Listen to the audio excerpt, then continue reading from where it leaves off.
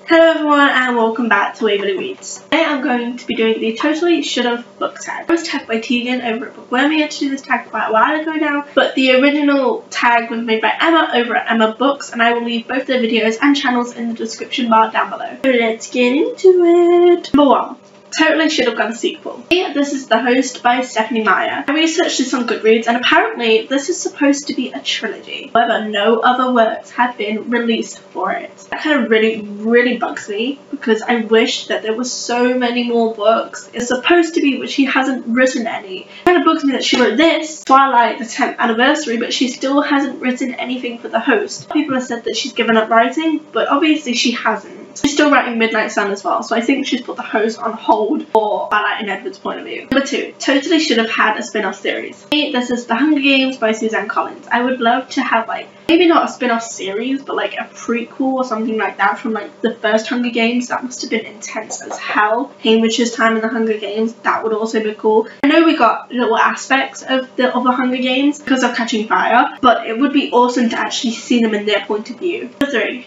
an author that should totally write more books. For me, this is Veronica Roth. This comes as no surprise to you. She's one of my favourite authors and I wish she would write so much more. I know that she's recently released a book or a book is going to be coming out soon or something like that, but I still want more, so Veronica, get on it. Before, a character that totally should have ended up with someone else. This is up to the point that I am currently reading, but it has to be Zoey from the House of Night. Can't explain this much because people I know are reading this right now and they will understand and it will be spoilers and also it's spoilers for anyone who hasn't read it. So I'm just going to leave it with that but she totally should end up with a certain person and she isn't right now. So honestly I don't think I'm going to continue with the series so I might not ever find out if she does actually end up with that person which sucks. Number 5 totally should have ended differently. And we're going back to Divergent, it seems to be all I can talk about, and Allegiant. That totally should have ended differently, but at the same time I loved the way it ended. I mean, I'm really torn. Wished that a certain person had lived, but they didn't.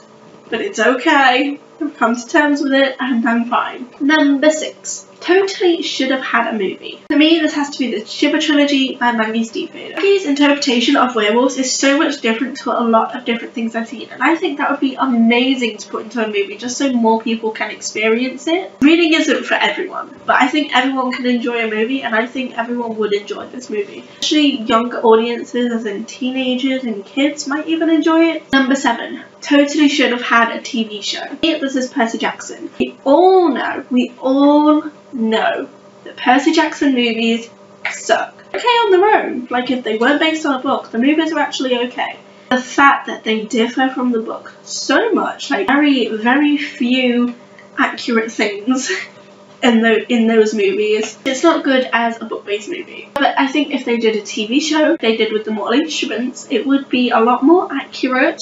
Still wouldn't be perfect, but it would be a lot more accurate you would get a lot more out of it. Number 8 totally should have only had one point of view. I mean, this is the Fifth Wave series by Rick Yancey. Not that it was necessarily bad, some back between point of views, but the fact that it didn't proclaim who was speaking and I had to work that out and it was difficult because I'm not good with character names in the first half of the book. Like, honestly, I suck at remembering names. So, point of view changes that don't tell me who's speaking is just the worst for me. Yeah, either write it in one point of view or specify who I'm reading. Number 9. Totally should have had a cover change. This is Bridge to by Katherine Paterson. I think with the subject of the book, it, they could do so much more with the cover, some more imagination into it, add some more childhood things into it, just so much more beautiful. But no, instead we've got this really ugly cover that I don't like. Number 10. Totally should have kept the original covers. I'm going to be biased and say any book with a movie cover. Don't put movie covers on a book, like why? It's really... Number 11. Totally should have stopped at book 1. And this is going to be Twilight by Stephenie Meyer. There was no need to add three more books. That could have changed at the end of book 1 and that would be it. No, instead we had to bring the werewolves into it, we had to bring new ones into it, we had to bring the Volturi into it, we had to bring a child into it, we had to bring a married into it.